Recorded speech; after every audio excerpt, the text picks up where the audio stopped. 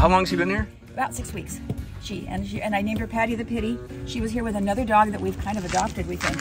And so she's at home right now, being very upset because I'm not there. Um, she was lactating a lot when we got here. Very skinny. We never found the puppies. It was really sad.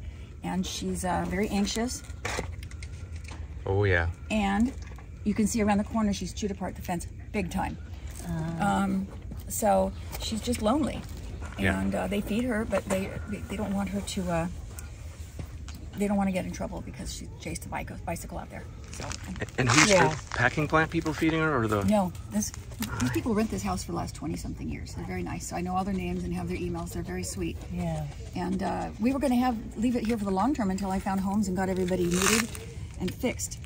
But uh, we already got one spaying that was extremely pregnant just four days ago. She's at my house. Yeah. We might need to get pregnant again. I got an appointment at Animal Action League for her for the end of the month This one? Yeah. Okay.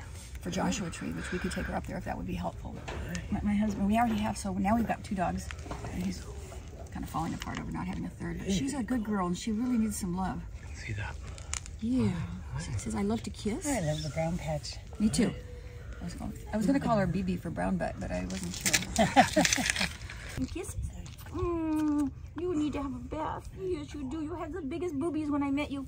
Oh, it was so sad. Oh, it was so sad, and you must have been so confused. Good girl.